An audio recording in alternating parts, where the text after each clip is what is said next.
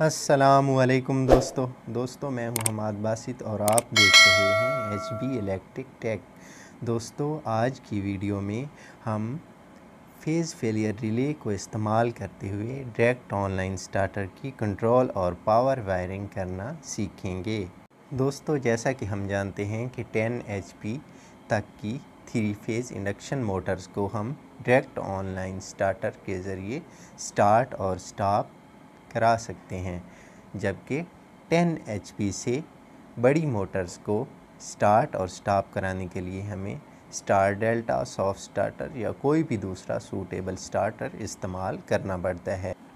और दोस्तों, phase failure relay का इस्तेमाल हम अपनी मोटर्स, कंप्रेसर्स और दूसरे इलेक्ट्रिकल इक्विपमेंट्स को under voltage, over voltage, phase sequence phase loss यानी किसी फ़ेज़ वायर का ब्रेक हो जाना जैसे प्रॉब्लम से प्रोटेक्शन के लिए इस्तेमाल करते हैं।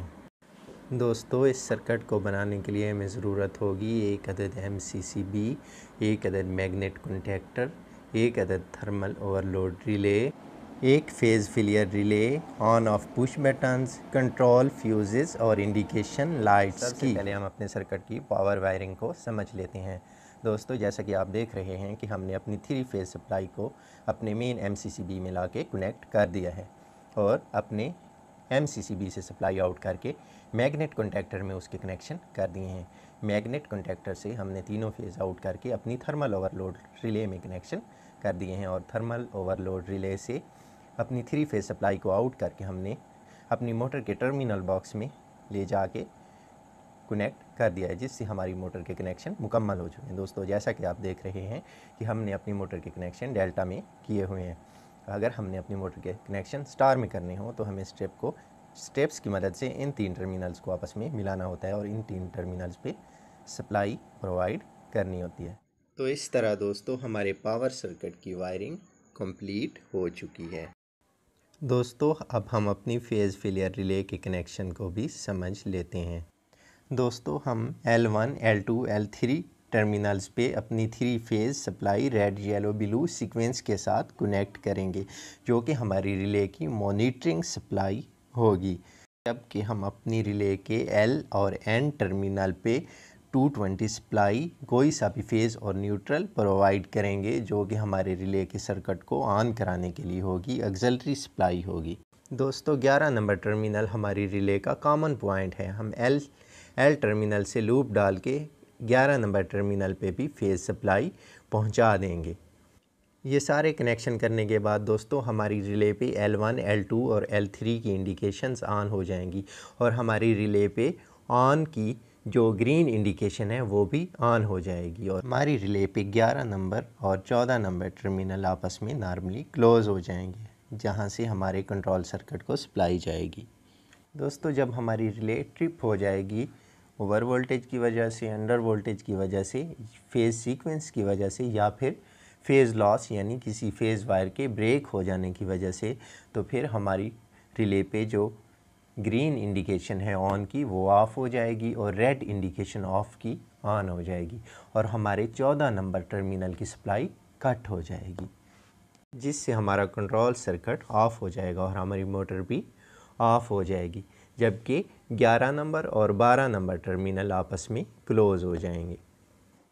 इसके अलावा दोस्तों, हमारी रिले पे जो तीन नॉब्स हैं, इनमें से पहली नॉब अंडर वोल्टेज की सेटिंग के लिए, दूसरी नॉब ओवर वोल्टेज की सेटिंग के लिए और तीसरी नॉब से हम डिले टाइम सेट करते हैं, जो कि ज़ीरो से पाँच सेकंड है। जैसा कि आप देख रहे हैं कि हमने अपनी फ़ेज़ फिलियर रिले के कनेक्शन मुकम्मल कर लिए हैं।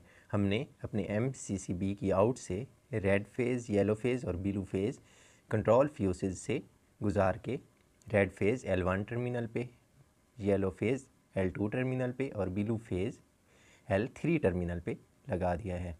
जबकि L3 फ़ेज़ से हमने लूप डाल के अपनी रिले के L टर्मिनल पे फ़ेज़ सप्लाई पहुँचा दी है और न्यूट्रल हमने N टर्मिनल पे लगा दी है।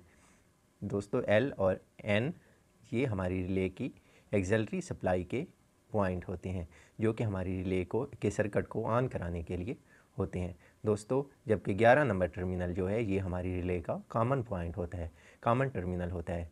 तो इधर भी हमने फ़ेज़ सप्लाई देनी होती है। तो एल से ही हमने एक लूप डाल के 11 नंबर टर्मिनल पे भी सप्लाई दे दी है। जबकि पी ई टर्मिनल पे हमने अपनी सिस्टम की अर्थिंग कनेक्ट कर दी है।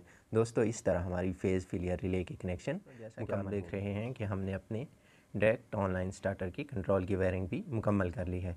हमने अपनी फ़ेज़ फेलियर रिले के चौदह नंबर टर्मिनल से सप्लाई आउट की है और उसे अपनी ओवरलोड रिले के पचानवे नंबर टर्मिनल के साथ कनेक्ट कर दिया है और छियानवे नंबर टर्मिनल से सप्लाई आउट करके हम ऑफ़ पुश बटन पे ले गए हैं और फिर ऑफ़ पुश बटन से ऑन पुश बटन को सप्लाई दे दी है। फिर ऑन पुश बटन से आउट करके हम अपने मैग्नेट कॉन्टैक्टर की कोयल के ए वन टर्मिनल पे हमने सप्लाई पहुँचा दी है। दोस्तों, जैसे ही हम ऑन पुश बटन को ऑन करेंगे तो हमारी सप्लाई हमारे मैग्नेट कॉन्टैक्टर के ए वन टर्मिनल पे पहुँच जाएगी, जिससे हमारा मैग्नेट कॉन्टैक्टर ऑन हो जाएगा और हमारी मोटर को सप्लाई जाने लग जाएगी, जिससे हमारी मोटर ऑन हो जाएगी।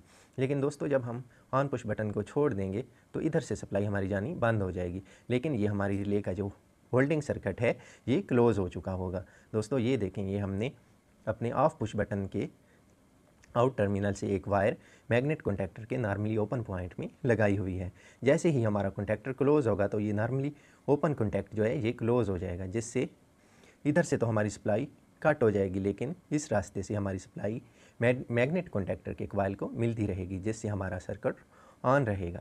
और जैसे ही हम अपना ऑफ़ पुश बटन प्रेस करेंगे तो हमारी सप्लाई कट हो जाएगी और हमारे होल्डिंग सर्किट की सप्लाई भी कट हो जाएगी और हमारी मोटर अब हम अपनी इंडिकेशन लाइट्स की वेयरिंग को भी समझ लेते हैं। दोस्तों ये हमारी ऑफ़ की इंडिकेशन लाइट है और ये ऑन की। ये फ़ेज़ फिलियर रिले जब हमारी ट्रिप होगी तो ये उसकी इंडिकेशन लाइट है और ये हमारी ओवरलोड रिले की ट्रिप की लाइट है। दोस्तों ये हमने एक फ़ेज़ अपने मैग्नेट कॉन्टैक्टर के नॉर्मली क्लोज़ कॉन्टैक्ट पे लगा के और वहाँ से आउट करके अपनी ऑफ़ इंडिकेशन लाइट को दे दिया है। जब हमारी मोटर ऑफ़ होगी और हमारा कॉन्टैक्टर ऑन होगा तो ये कॉन्टैक्ट क्लोज़ होगा, जिससे हमारी ऑफ़ की इंडिकेशन लाइट ऑन होगी। दोस्तों, जैसे ही हम अपनी मोटर को ऑन करेंगे तो ये वाला जो नॉर्मली क्लोज पॉइंट था, ये ओपन हो जाएगा, जिससे हमारी ऑफ़ की लाइट बंद हो जाएगी और हमारी ऑन की लाइट ऑन हो जाएगी, क्योंकि हमारे कॉन्टैक्टर पे सप्लाई होगी और यहीं से हमने ऑन की इंडिकेशन लाइट के कनेक्शन किए हुए हैं। दोस्तों, जब हमारी फ़ेज़ फिलियर रिले ट्रिप करेगी तो हमारे 14 नंबर टर्मिनल पे सप्लाई कट हो जाएगी, जिससे हमारा सर्किट ऑफ़ हो जाएगा, जबकि हमारा 11 नंबर और 12 नंबर टर्मिनल आपस में क्लोज़ हो जाएँगे, जिससे हमारी फ़ेज़ फिलियर की, फ़ेज़ फिलियर ट्रिप की इंडिकेशन लाइट ऑन हो जाएगी। इसी तरह दोस्तों, जैसे हमारा ओवरलोड, जब हमारा ओवरलोड ट्रिप करेगा तो दोस्तों ये पचानवे नंबर और छियानवे नंबर टर्मिनल आपस में ओपन हो जाएँगे और हमारा सर्किट ऑफ़ हो जाएगा, जबकि सतानवे नंबर और अठानवे नंबर टर्मिनल आपस में क्लोज़ हो जाएँगे और यहाँ से सप्लाई हमारी ओवरलोड की ट्रिप इंडिकेशन लाइट को चली जाएगी, जिससे हमारे ओवरलोड की ट्रिप इंडिकेशन लाइट ऑन हो जाएगी, जिससे हमें पता चलेगा कि हमारी मोटर ट्रिप कर गई है। दोस्तों, जैसा कि आप देख रहे हैं कि हमने direct online starter with phase failure relay की एक सिंगल लाइन डायग्राम भी बना दी है, जिससे आप इस इस सर्किट को बहुत ही बसानी समझ सकते हैं। दोस्तों, ये हमारे एल वन सप्लाई है फ़ेज़ सप्लाई है, जो कि हमने अपने कंट्रोल के ब्रेकर में लगाई हुई है। जैसे ही दोस्तों हम अपना ये ब्रेकर ऑन करेंगे तो हमारी फ़ेज़ फिलियर रिले से होती हुई हमारी सप्लाई हमारी थर्मल ओवरलोड रिले के पचानवे नंबर टर्मिनल पे आ जाएगी और फिर पचानवे से छियानवे नंबर टर्मिनल पे हमारी सप्लाई पहुँच जाएगी। और फिर ऑफ़ पुश बटन से होते हुए ऑन पुश बटन तक हमारी सप्लाई पहुँच जाएगी। दोस्तों, जैसे ही हम ऑन पुश बटन को प्रेस करेंगे तो हमारी सप्लाई, हमारी मैग्नेट कॉन्टैक्टर की क्वाइल को मिलेगी, जिससे हमारी मैग्नेट कॉन्टैक्टर क्लोज़ हो जाएगा, ऑन हो जाएगा और हमारी मोटर चलने लग जाएगी और हमारी ऑन की इंडिकेशन भी ऑन हो जाएगी। दोस्तों, जब हमारी फ़ेज़ फिलियर रिले ट्रिप करेगी तो ये 11 नंबर और 14 नंबर टर्मिनल आपस में ओपन हो जाएँगे। जिससे हमारे सर्किट की सप्लाई बंद हो जाएगी और हमारी मोटर ऑफ़ हो जाएगी, जबकि हमारे 12 नंबर और 11 नंबर टर्मिनल आपस में क्लोज़ हो जाएँगी और फ़ेज़ फिलियर रिले की ट्रिप इंडिकेशन ऑन हो जाएगी और हमें पता चलेगा कि हमारे फ़ेज़ फिलियर रिले ट्रिप हो गई है। और दोस्तों, जब हमारी ओवरलोड रिले ट्रिप होगी तो पचानवे नंबर और छियानवे नंबर टर्मिनल आपस में ओपन हो जाएँगे, जिससे हमारा सर्किट ऑफ़ हो जाएगा और सतानवे नंबर और अठानवे नंबर टर्मिनल आपस में क्लोज़ हो जाएँगे और हमारी ओवरलोड ट्रिप की इंडिकेशन ऑन हो जाएगी और हमें पता चल जाएगा कि हमारी मोटर की ओवरलोड रिले ट्रिप हो गई है।